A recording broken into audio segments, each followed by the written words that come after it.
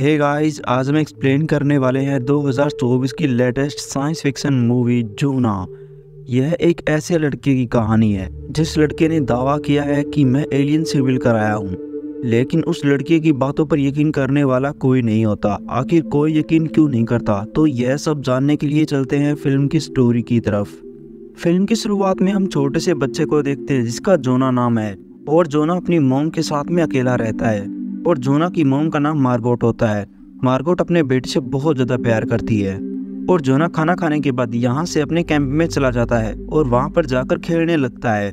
और जोना घर पर होती है। उसके घर पर पेमेंट का एक नोटिस आया हुआ है, क्योंकि मार्गोट ने अपने पिछले कई बिलों का भुगतान नहीं किया है। उसी वजह से वह एक जगह जॉब के लिए बात करती है, जहाँ वह जॉब के लिए सिलेक्ट हो जाती है। और साथ ही साथ मार्गोट यहाँ पर शाम तक अपने बेटे का भी इंतज़ार करती है, लेकिन उसका बेटा आता ही नहीं। उसी वजह से मार्गोट बहुत ज़्यादा परेशान हो जाती है और जब वह रात होती बाहर देखने के लिए जाती है तो उसे यहाँ पर बहुत सारे लाइट्स नज़र आती हैं और उन लाइट्स में वह अपने बेटे को देखती है, जैसे उसका बेटा हवा में ऊपर उठा हुआ हो और इस सीन को यहीं पर काट दिया जाता है। बाद में हम एक आदमी को देखते हैं, जिसका हेनरिक नाम है और हेनरिक यहाँ पर दूसरों का इलाज करता है। वह लोगों को दवाएँ नहीं देता। बल्कि वह लोगों को बताता है कि मेरे अंदर कुछ शक्तियाँ हैं और उनकी वजह से मैं लोगों का इलाज करता हूँ। और वह यहाँ पर ओजी नाम के एक लड़के का इलाज कर रहा होता है। दरअसल ओजी एक जर्नलिस्ट होता है, जो लोगों का इंटरव्यू लेता है। और वह यहाँ पर हैंड्रिक का इंटरव्यू लेने के लिए आया है और हैंड्रिक से पूछता है कि आप ऐसे कैसे कर लेते हैं।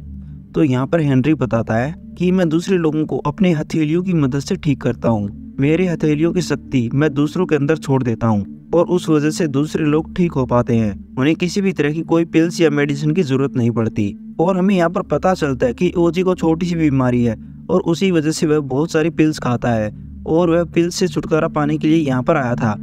यहाँ पर ओजी के साथ में उसका दोस्त भी होता है, जिसका डेरेन नाम होता है, जो कैमरामैन का भी काम करता है। और बाद में ओजी और डेरेन ये दोनों कैंप लगाकर एक जगह बैठ जाते हैं। तभी यहाँ पर जेन नाम की लड़की का कॉल आता है, जो कि ओजी की दोस्त होती है। और वह ओजी को बताती है कि मेरे पास में एक न्यूज़ है। वह बताती है कि मुझे एक औरत मिली थी, जिसके बेटे को एलियन ले गए थे। और वह इस चीज़ का बार बार दावा करती है, लेकिन उसकी बातों पर हमें यकीन नहीं होता। और मैं चाहती हूँ कि तुम उसका इंटरव्यू लो, ताकि उस औरत की पहुँच सबके सामने खुलकर आए। और साथ ही जेन यहाँ पर ओजी को उस औरत का एड्रेस भी दे देती है। पहले तो ओजी मना करता है कि मैं ऐसी जगहों पर नहीं जाता। तो डेरेन यहाँ पर किसी तरह करके अपने दोस्त ओजी को मना लेता है। और अगली सुबह होते ही दोनों बैग पैक करते हैं और यहाँ से निकल जाते हैं। और काफ़ी लंबे सफ़र के बाद ये दोनों उस जगह पर पहुँच जाते हैं, जहाँ पर मार्गोट रहती है। और मार्गोट दरवाज़ा खोलती है और बताती है कि जेन ने मुझे तुम्हारे बारे में बताया था। और वह इन दोनों को एक कमरा देती है और कहती है कि जब तक तुम यहाँ पर रहना चाहो, तुम रह सकते हो। और ओजी और डेरिन यहाँ पर आकर थोड़े खुश होते हैं। और साथ ही में यह भी पता चलता है कि ओजी जब रात को सो जाता है, तब उसे बचपन के थोड़े बुरे सपने भी आते हैं। और ओजी उसी वजह से भी अपने साथ में टेबलेट रखता है। बाद में ये दोनों मार्गोट से मिलते हैं। और वो लोग मार्गोट से पूछते हैं कि तुम इंटरव्यू पर क्यों आना चाहती हो? लोगों को क्यों दिखाना चाहती हो? वह बताती है कि मैं ये चाहती हूँ कि दुनिया यह देखे कि हम इस ब्रह्मांड में अकेले नहीं हैं, यहाँ पर एलियन भी हैं। और जो मेरे साथ में हुआ था, मुझे पता है कि आप उस सच्चाई को बाहर लेकर आओगे और सभी लोगों को दिखाओगे। तो यहाँ पर ओजी विश्वास दिलाता है कि मैं उस सच्चाई को सभी लोगों को दिखाऊँगा। बाद में ओजी और डेरेन ये दोनों मिलकर अपना कैमरा वगैरह का सेटअप कर लेते हैं और यहाँ पर मार्गोट का इंटरव्यू लेने लगते हैं।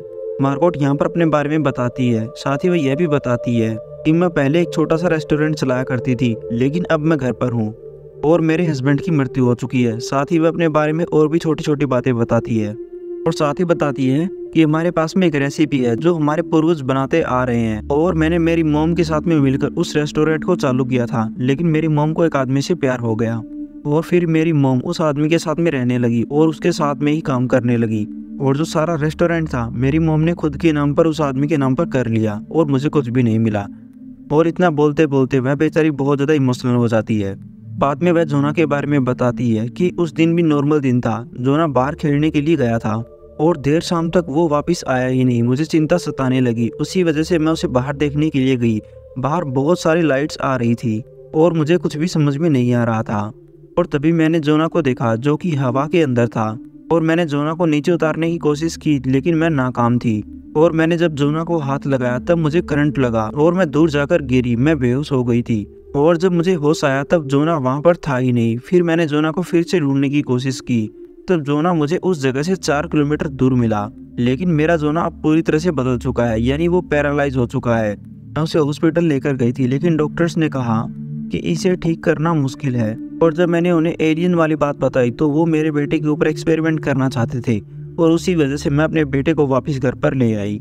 बाद में ओजी यहाँ पर बोलता है कि हम जोना से भी बात करना चाहते हैं। तो यहाँ पर मार्गोट जोना को भी लेकर आती है, जो कि व्हील चेयर के ऊपर होता है। और अब जोना अपने पैरों पर चल नहीं सकता। यहाँ पर ओजी जोना से भी पूछने की कोशिश करता है कि आखिर तुम्हारे साथ में क्या हुआ था? वो एलियन कौन थे? क्या तुमने सच में उन्हें देखा था? तो यहाँ पर जोना बोलता है कि मुझे कोई भी नहीं लेकर गया, बल्कि मैं अब जाग चुका हूँ और मैं घर जाने के लिए तैयार हूँ। यह मेरा घर नहीं है, यह पृथ्वी है, मेरा घर सेंचुरी है, और यह पृथ्वी प्लानट बहुत जल्द खत्म होने वाला है।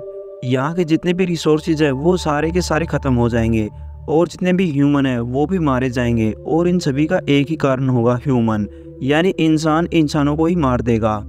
और एक अंतिम युद्ध की शुरुआत शुरू हो जाएगी। और उसी वजह से मैं अपने घर पर वापस जाना चाहता हूँ, यानी सेंचुरी पर। तो यहाँ पर ओजी और उसके दोस्त को बात समझ में नहीं आती कि आखिर यह जोना क्या बोल रहा है। तब यहाँ पर मार्गोट जल्दी से अपने बेटे जोना को संभालती है और यहाँ पर ओजी और डेरन ये दोनों कमरे में आ जाते हैं।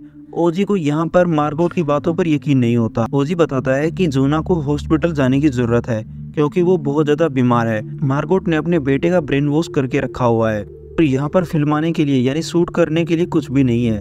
यह एक झूठी और बनी बनाई बात है। तो यहाँ पर डेरेन अपने दोस्त को समझाने की कोशिश करता है कि हमें थोड़ा सा और इंतज़ार करना चाहिए। क्या पता हमें सारी सच्चाई पता चल ही जाए। और उसी वजह से ये लोग यहीं पर रुकने का फैसला करते हैं। बाद में ये दोनों वापस से यहाँ मार्गोट के पास में जाते हैं।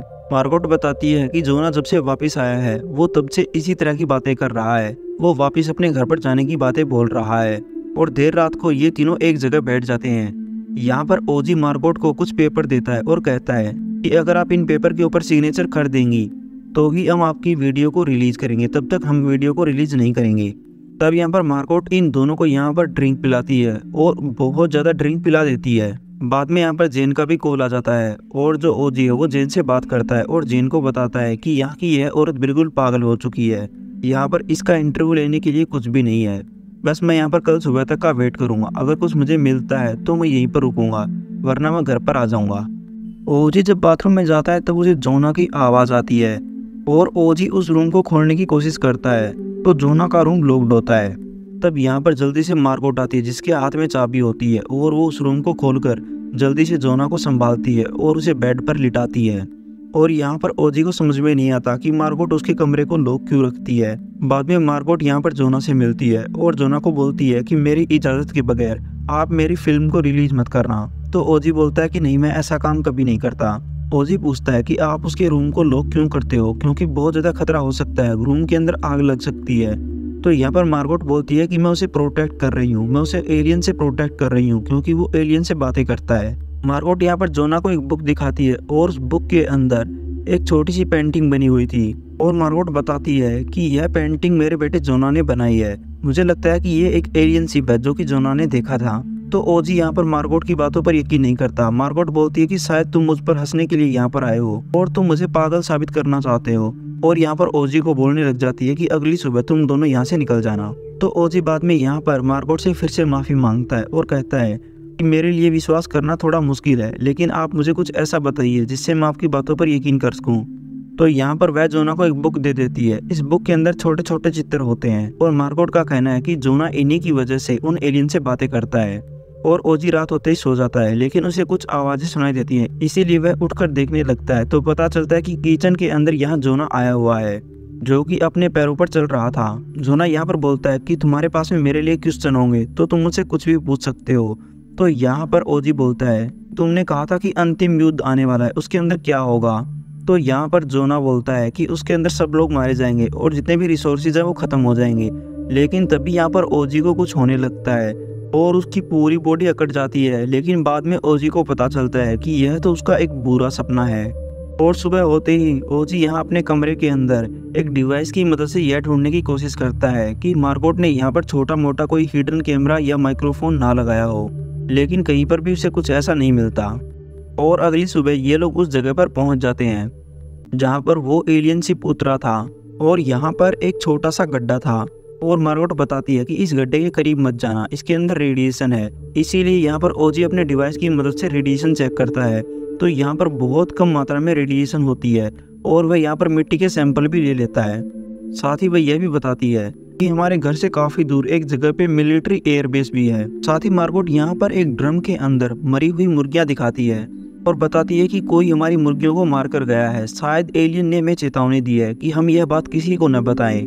यहाँ पर ओजी और डेरन के लिए इस बात पर यकीन करना मुश्किल हो जाता है। बाद में ओजी यह बात जेन को बता देता है कि मुझे दाल में कुछ काला नज़र आ रहा है। इसलिए मैं चाहता हूँ कि तुम मार्गोट के बारे में सारे डिटेल पता करो। तो जेन बोलती है कि ठीक है, मैं तुम्हारे लिए यह काम ज़रूर करूँगी। और जेन जल्दी से ऑनलाइन जानकारी देखते ही ओजी को बता देती है कि मार्गोट ने जोना नाम का एक बच्चा गोद लिया था, और यह मार्गोट का खुद का बच्चा नहीं है। तब तक यहाँ पर मार्गोट भी आ जाती है। बाद में ये जोना का फिर से इंटरव्यू शुरू कर देते हैं। इंटरव्यू के अंदर यहाँ पर जोना एक ही बात बोलता है कि वो एलियन मुझे लेने के लिए आ रहे हैं, और 2025 के लास्ट तक पूरी आबादी खत्म हो जाएगी, और धरती पर कोई भी ज़िंदा इंसान नहीं रहेगा। तब तक यहाँ पर मार्गोट का कॉल आ जाता है। उसी वजह से ये इंटरव्यू को बीच में रोक देते हैं और मार्गोट कॉल पर बात करने के लिए चली जाती है, क्योंकि उसने जॉब के लिए फॉर्म अप्लाई किया था। और डेरन भी यहाँ पर मार्गोट के पीछे पीछे जाता है ताकि वह उसकी बातों को सुन सके।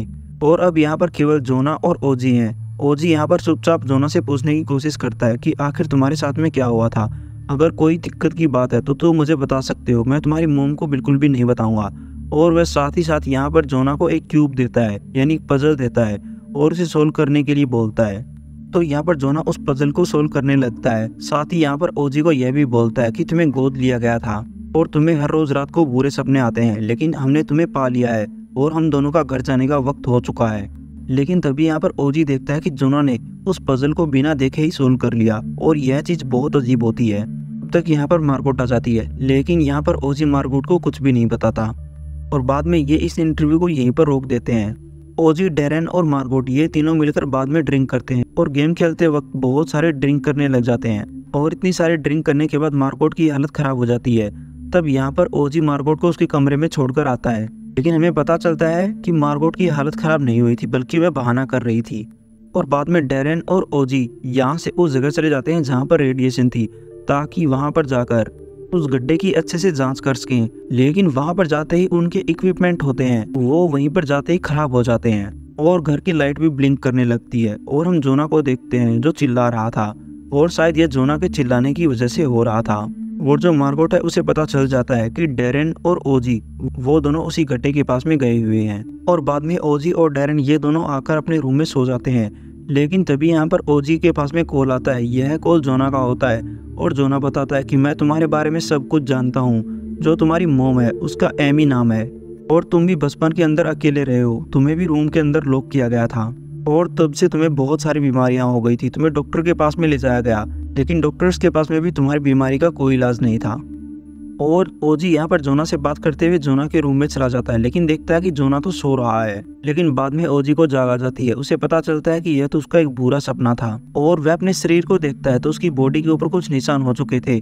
यहाँ पर जो डेरिन है, वो सामान पैक कर लेता है, और वो यहाँ से जाने के बारे में कहने लगता है, क्योंकि वो यहाँ पर एक भी मिनट नहीं रुकना चाहता, क्योंकि उसकी गर्दन के ऊपर भी वैसे ही निशान थे।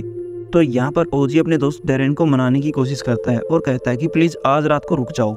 उसके बाद हम हमेशा के लिए यहाँ से निकल जाएँगे। हम इस कहानी के बिल्कुल आखिर में पहुँच चुके हैं। हमें पता चलने वाला है कि आखिर हुआ क्या था और उसी वजह से डेरेन रुक जाता है और बाद में ये लोग जोना और उसकी मोम मार्गोट का इंटरव्यू लेने लगते हैं। यहाँ पर ओजी सबसे पहले जोना के पिता के बारे में पूछता है तो मार्गोट बोलती है कि जोना के पिता नहीं है, वो मारे जा चुके हैं। साथ ही वह यह भी बोलती है कि जोना के पिता का इस इंटरव्यू से क्या लेना देना है, वो हमारा पास्ट था, हम उसे भूल चुके हैं। तो यहाँ पर ओजी बोलता है कि आपने अपने बेटे को गोद लिया था। ये आपका सगा बेटा नहीं है। तो ओजी बोलती है कि नहीं, ऐसा बिल्कुल भी नहीं है। जोना मेरा ही बेटा है। तो यहाँ पर जोना बोल पड़ता है और ओजी से बोलता है कि तुम्हें भी गोद लिया गया था। और मार्कोट अपने बेटे को यहाँ से ले जाती है। वो इसका इंटरव्यू नहीं चाहती। और साथ ही इन दोनों को भी बोलती है कि तुम मेरे घर से निकल जाओ।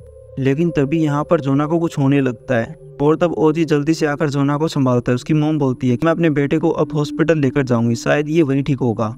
तब यहाँ पर डेरन भी आ जाता है, जो छुप कर कैमरा की मदद से सब कुछ शूट कर लेता है। और वह यहाँ पर ओजी को बोल रहा है कि अगर वो औरत उसे हॉस्पिटल नहीं ले जाएगी तो हम यह फुटेज पुलिस को दिखा देंगे। और उसी वजह से ओजी और डेरन के बीच में बहस हो जाती है।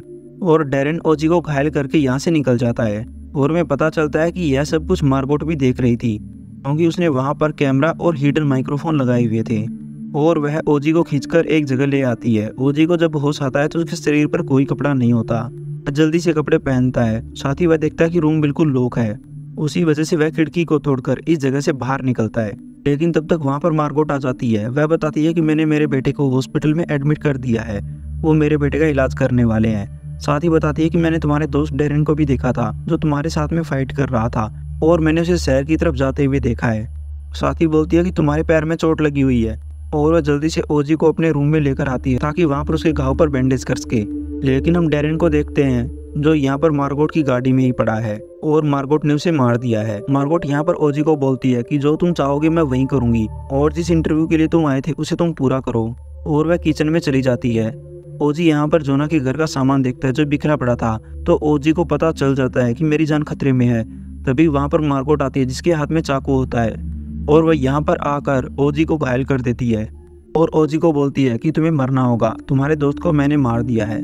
ओजी किसी तरह मार्गोट से अपनी जान बचाता है और यहाँ से भाग जाता है और वह जोना को ढूँढने लगता है। जोना एक छोटे से कैंप में था, उसे वहाँ से निकालता है और जोना को लेकर यहाँ से जाने लगता है। लेकिन तब तक पीछे से मार्गोट आ जाती है, जिसके हाथ में गन होती है और वह यहाँ पर ओजी को गोली मार देती है और उसी वजह से ओजी वहीं पर गिर जाता है और मार्गोट यहाँ पर गला दबाकर ओजी को मारने वाली थी। लेकिन ओजी के हाथ में पत्थर आता है और उसी वजह से उस पत्थर की मदद से वह यहाँ पर मार्गोट को घायल कर देता है।